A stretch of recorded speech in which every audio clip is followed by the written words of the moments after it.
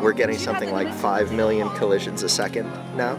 And you know, we have to learn how to sift through that very quickly, analyze that very quickly, and we have a constant reminder just across the building that there are other people who are trying to do the same thing and they may, may be doing it faster.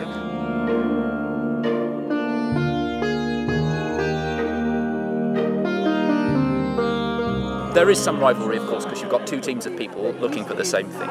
It's a basic, you know, principle of science. You can't have a measurement only done with one piece of apparatus. Uh, it doesn't. It's not science until the same measurement has been seen in independent conditions by another set of, of apparatus.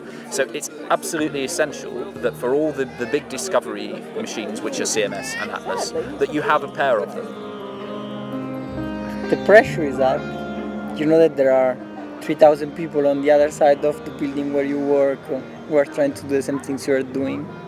There is always guy, someone that wins and someone that loses. I mean, it's not that if you are in the losing experiment, it's like, oh, I wasted my life. Because we are not here to be first, we are here to understand.